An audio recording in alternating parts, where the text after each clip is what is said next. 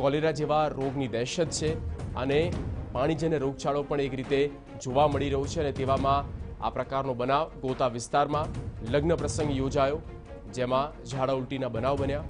એક સાથે લગભગ સત્યાવીસ દર્દીને દાખલ કરવાની ફરજ પડી છે અને સિવિલ હોસ્પિટલમાં તેઓને એડમિટ કરવાની નોબત આવી. લગ્ન પ્રસંગના જમણવારમાં ખોરાકી ઝેરની અસર થઈ હોવાનો પણ અંદાજો લગાવવામાં આવી રહ્યો છે.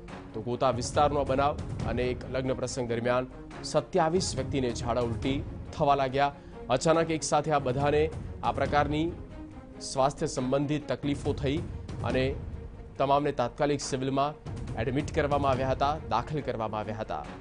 લગ્ન પ્રસંગમાં જમણવાર સમય કંઈક ખોરાકી ઝેરની અસર થઈ હોવાનું પણ એ લોકોનો અંદાજ છે, એ લોકોનું અનુમાન છે. જોકે હવે હકીકત શું છે? કોના તરફથી આ જમણવાર હતું. તે હવે શું સ્ટેટમેન્ટ આપે છે તે પણ જોવાનું રહેશે. પણ આ પ્રકારનો બનાવ બન્યો છે અમદાવાદના ગોતા વિસ્તારમાં. અને એક સાથે સત્યાવીસ લોકોને અસર થવા પામી છે.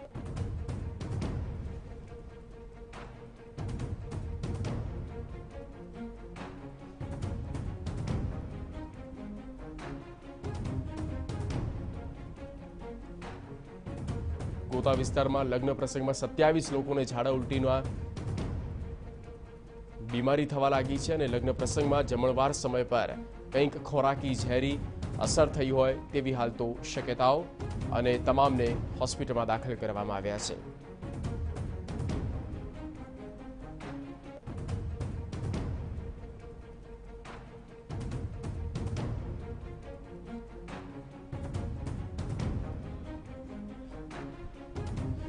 મિહિર સોની સંવાદદાતા લાઈવ જોડાઈ ચૂક્યા છે. મિહિર, પૂરી પરિસ્થિતિનો ચિતાર.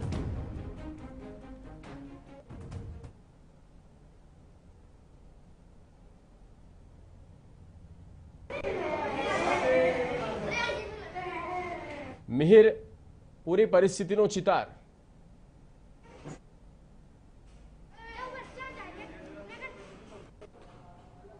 જગદીશ, ગોતા ગામમાં એક લગ્ન પ્રસંગ હતા કે જે બહારગામથી જાન આવી હતી અને તે સમયે જે જમવામાં ત્રણસોથી પણ વધારે લોકો હતા કે જે જમણવારમાં હતા, જેમાં સોથી પણ વધારે લોકોને ફૂડ પોઈઝન થઈ ગયું હોવાનું અત્યારે હાલ પ્રાથમિક તપાસે જે છે તે સામે આવ્યું છે. આ લગ્ન પ્રસંગમાં જે તમામ લોકો હતા કે જે ફૂડ પોઈઝનિંગ થયું હતું, એમાં સૌથી વધારે નાના બાળકો છે જે અત્યારે હાલ તમામે તમામ લોકોને સોલા હોસ્પિટલ છે કે જ્યાં સિવિલ ત્યાં આગળ લાવવામાં આવ્યા છે અને તમામ લોકોની સારવાર છે તે અત્યારે ચાલી રહી છે. હાલ તો જે આઠમા માળે જે બાળકોનો જે વોર્ડ છે તેમાં પચીસથી વધારે બાળકો છે કે અત્યારે હાલ તેને એડમિટ છે અને તમામ લોકોને જે તમામ જે જે તે લોકોને એડમિટ કરતાની સાથે જ હાલ તે લોકોને સારવાર છે તે આપવામાં આવી રહી છે. હાલ તો તમામે તમામ લોકો છે કે જે મોટી ઉંમરથી લઈ અને તમામ લોકો લગભગ સોથી પણ વધારે લોકો અત્યારે હાલ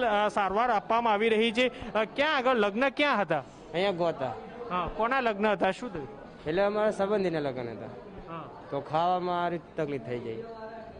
એટલે ખાવાનું બનેલું હતું તો પછી એમાં ખાવા બધાને અમને આમંત્રણ આપેલું હતું કોઈ ખાવા જેલા હતા.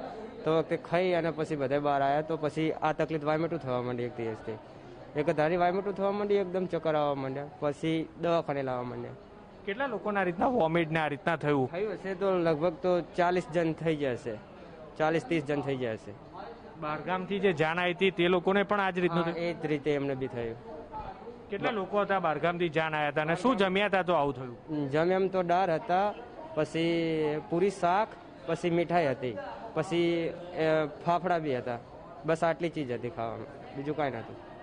અત્યારે હાલ તો જે પચાસથી વધુ લોકો છે કે જે તેમને ફૂડ પોઈઝન થતાની સાથે જ અત્યારે હાલ સોલા સિવિલ હોસ્પિટલમાં ખસેડવામાં આવ્યા છે.